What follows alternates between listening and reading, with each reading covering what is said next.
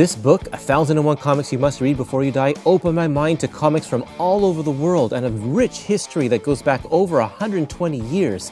This video series highlights some of my favorites. Here you go.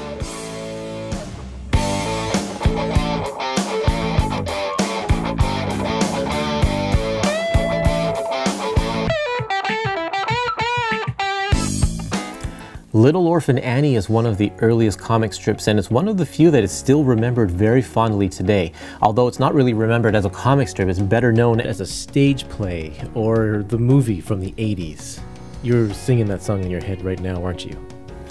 But the comic strip is where it all started back in 1924. It was the story of this little redhead girl who was an orphan and just kind of bounced around from place to place, not really having a constant home or a family that she can call her own.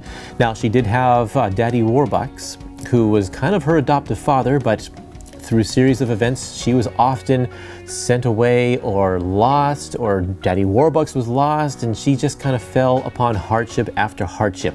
But the thing that makes this comic strip so uniquely Little Orphan Annie is because of her always optimistic, spunky attitude. And this started in the 20s and went through the Great Depression, and it was a positive way for people to cope with the realities of the day. Little Orphan Annie was a strip that people tuned into every single day and followed for many, many years.